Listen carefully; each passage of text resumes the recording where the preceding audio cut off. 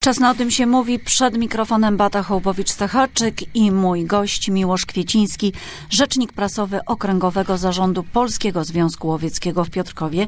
Dzień dobry panie Miłoszu. Witam serdecznie. Kiedy zaczyna się sezon na polowanie? Sezon na polowanie tak naprawdę trwa cały rok, bo cały rok możemy pozyskiwać odpowiednie e, wyszczególnione w kalendarzu łowieckim gatunki zwierząt. E, jeśli mówimy o sezonie, myślimy tutaj o sezonie polowań zbiorowych.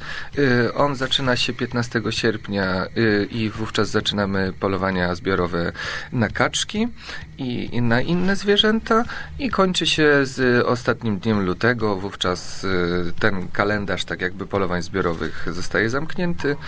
I y, pozostają, tak jak na przykład teraz w marcu, polowania indywidualne. W marcu możemy pozyskiwać dziki, y, odyńce, przelatki, warchlaki y, i wycinki oraz y, wszelkiego rodzaju drapieżniki. Czy to jest tak, mówi pan indywidualnie, czyli ma pan ochotę, czas, jest w tym momencie taka sytuacja, bierze pan po prostu broń i idzie na polowanie? Tak, tak w, ten sposób to wygląda. Y, Dodatkowo mamy w naszych y, obwodach łowieckich również plany pozyskania y, zwierzyny i to nie jest tak, że strzelamy do każdego zwierzęcia, które nam wyjdzie pod tą ambonę czy miejsce zasiadki, tylko mamy określone ilości, które możemy pozyskać i na przykład mm, jeśli wiemy, że w danym obwodzie łowieckim mamy do po- pozyskania na przykład 60 dzików, no to każdy kolejny strzelony schodzi nam z planu, no i y, wygląda to w ten sposób, że nie, nie strzelamy na przykład, nie wiem, 500, tylko jeśli dany obwód jest dosyć obfity w zwierzynę, mamy na przykład w nim y, 60 sztuk do pozyskania, no to strzelamy 60 sztuk i A panie Miłoszu, jaki ten sezon był, bo się zakończył sezon zbiorowego polowania? Tak, sezon y, polowań zbiorowych się zakończył i y, również zakończył się tak jakby y, rok obliczeniowy. No i jaki to był sezon dla Y, was? Sezon był, myślę, dosyć dobry. Y, Nie można tutaj mówić o tym, czy naprawdę, czy był dobry, czy nie był dobry, bo staramy się utrzymywać y, stany zwierzyny mniej więcej na jakimś takim No dobrze, stabilnym ale poziomie. przecież to jest nie tylko polowanie, tak, że wychodzicie i w tym momencie zakładacie, dzisiaj musi być 15 dzików. Zdarza się pewnie, że się nie upoluje żadnego, a zdarza się, Tak, że jest ich tak więcej. jest. Tak, więc y, wygląda to w ten sposób, że y, jeśli na przykład y, na początku sezonu y, ta zwierzyna w naszych łowiskach, czy akurat w obszarach, w których wykonujemy polowanie, obfituje dosyć tak bogato, no to jeśli zdążymy i wykonamy plan wcześniej, to później polując nawet zbiorowo pozyskujemy inne gatunki.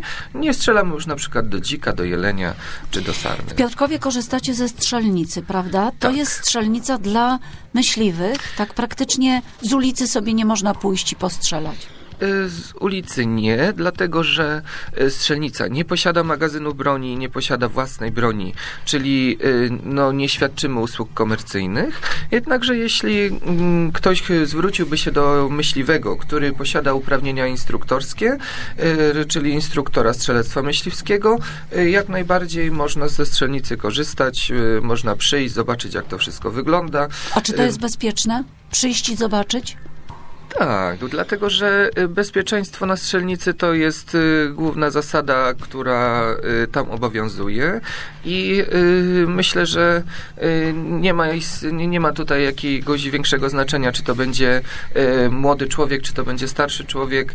Bez żadnego problemu można przyjść, można tak jakby poobserwować.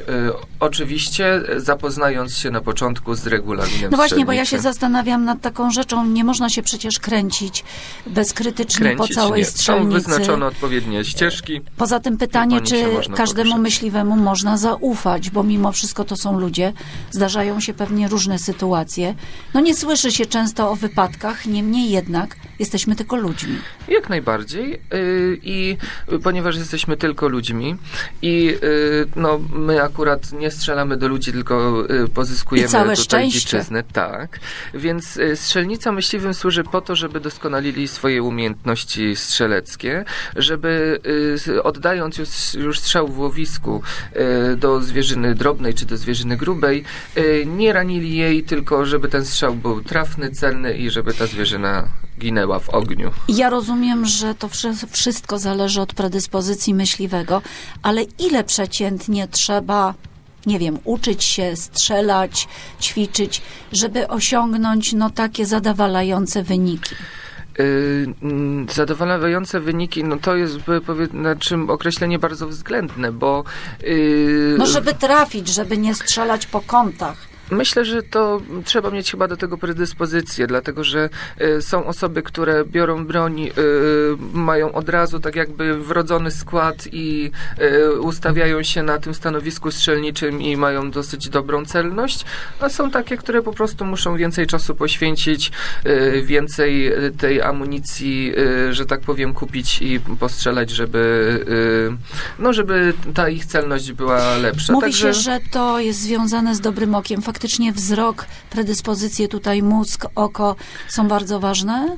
Tak, przystępując y, do szeregów Polskiego Związku Łowieckiego trzeba przejść zarówno badania psy- psychologiczne, jak i y, badania u okulisty.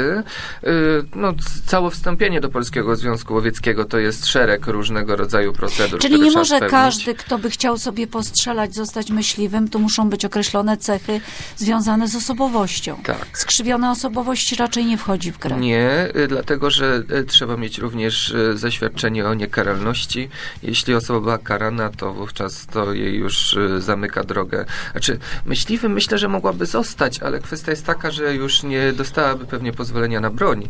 No a myśliwstwo zwiąże się z tym, że jednak y, większość myśliwych, bo znam takich, którzy nie posiadają broni, a szczycą się tym, Czyli że są co w Polskim rytuał bardziej, tradycja. Tak, tak, tak, tak. tak. Nie strzelają do zwierząt. Tak, na przykład piszą artykuły do gazet albo y, o tym myśliwstwie pięknie mówią.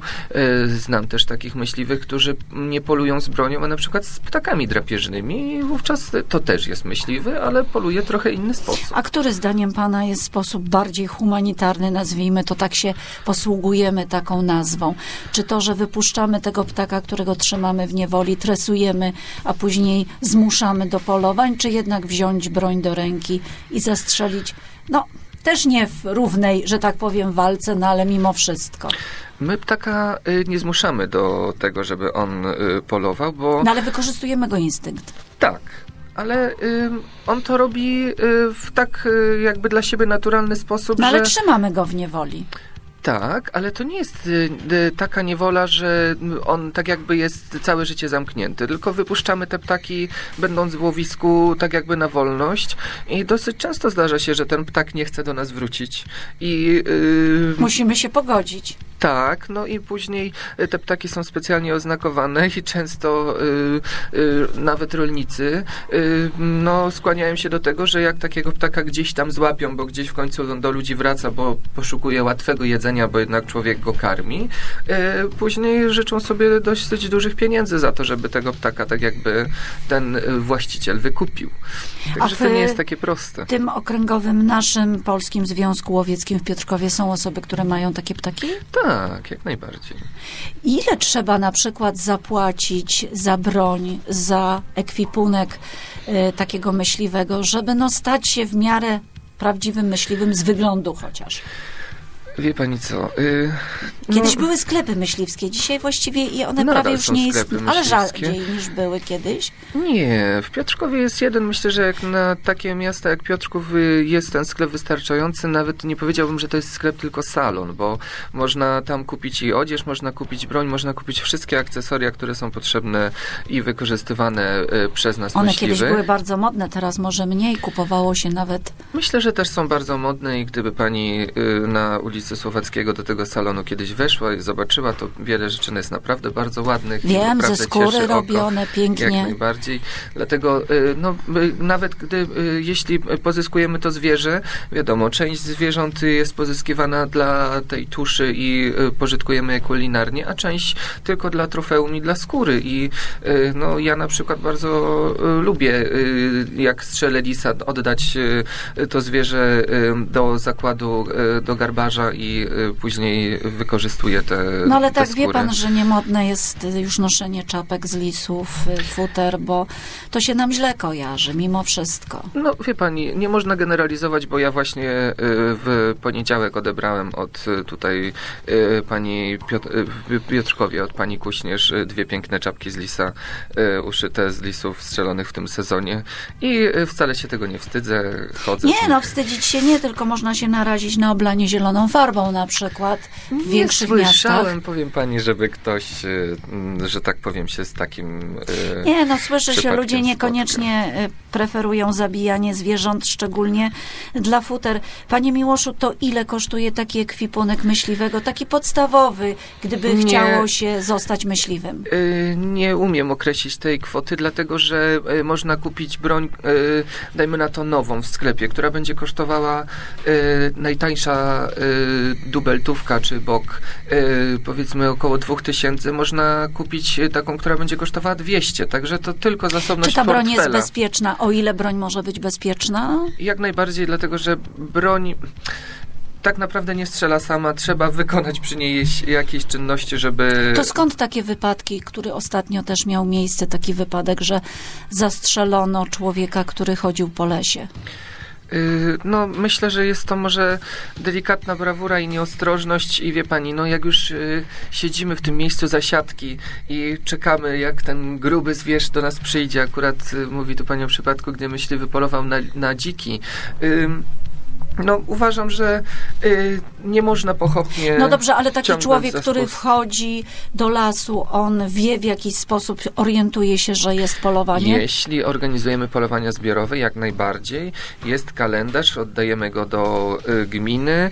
Y, no, nie, nie jesteśmy zobowiązani do informowania każdego, ani do wysyłania y, kalendarza polowań zbiorowych y, do y, każdego mieszkańca, który mieszka na terenie naszego obwodu. Jednakże y, jak najbardziej y, no, są dostępne informacje, w jakim czasie, kiedy będzie się I odbywało. gdzie trzeba uważać? Tak. Miłosz Kwieciński, rzecznik prasowy Okręgowego Zarządu Polskiego Związku Łowieckiego w Piotrkowie Trybunalskim, gość strefy FM Piotrków. Dziękuję Dziękujemy serdecznie. bardzo. Do usłyszenia. No to w takim razie, y, no, dobrych łowów. Ja nie wiem, co się życzy myśliwym. No to daszbur. myśliwskie tak, powiedzenie tak, daszbur. wszystkiego najlepszego.